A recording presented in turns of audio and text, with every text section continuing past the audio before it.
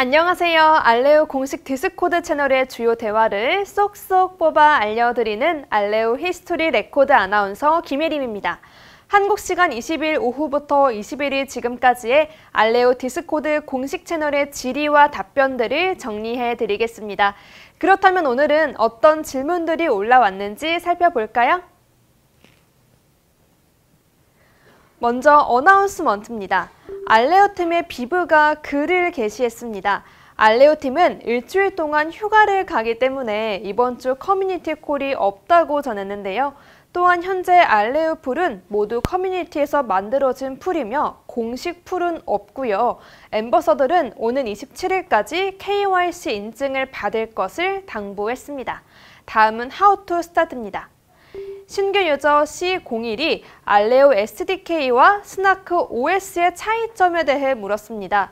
이에 Voyager에서 Maestro로 승격한 ambassador 유즐리스 도로즈키나가 알레오 SDK는 알레오 앱에서의 작업하는 개발자를 위한 것이고 스나크 OS는 테스트넷에서 셋업을 원하는 노드나 참가자 모두를 위한 것이라고 설명했습니다. 다음 질문입니다.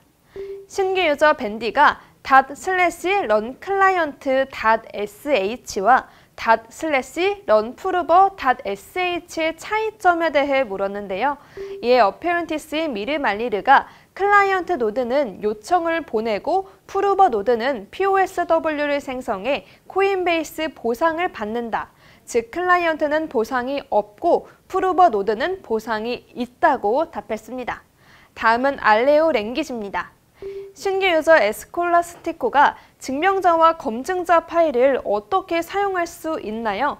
오프라인으로도 할 수 있나요? 라고 물었습니다. 이에 알레오의 소프트웨어 개발자 알렉스 버드가 답했는데 그는 증명 및 검증 생성은 네트워크에서 자동 수행된다. 알레오 명령어 레오 언어를 사용하여 프로그램의 로직만 설명한다. 알레오에서의 연산 작업과 상태 변화는 off-chain으로 실행될 수 있으며 transition 증명은 상태 변환을 확인하고 이를 on-chain transaction에 포함하는 데 사용된다고 설명했습니다. 이어 알레오 팀의 D0CD는 레오 CLI나 알레오 SDK의 verify 파일 명령어와 같은 기능은 없지만 해당 기능을 지원하는 데 관심이 있다. 스나크 VM 코드베이스의 컴포넌트를 사용해 직접 해당 작업을 수행할 수 있다고 답했습니다.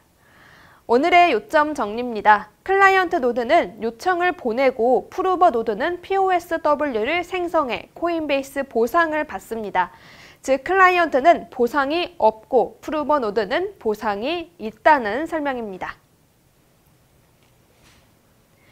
네, 여기까지 지난밤과 오늘 아침 사이에 알레오 공식 디스코드 채널을 쏙쏙 뽑아 살펴봤습니다.